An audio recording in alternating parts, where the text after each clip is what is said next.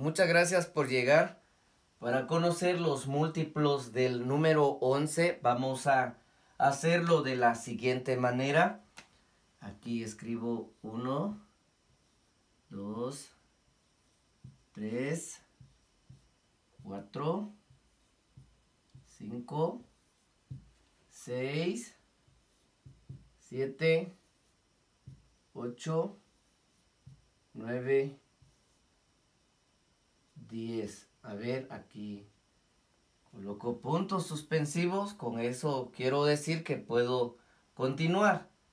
Y ahora multiplico 11 por 1 igual 11. 11 por 2 igual 22. 11 por 3 33. 11 por 4 44. 11 por 5 55, 11 por 6, 66, 11 por 7, 77, 11 por 8,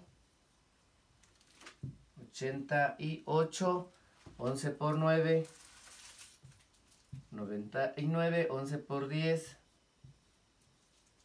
110. Y puedo continuar.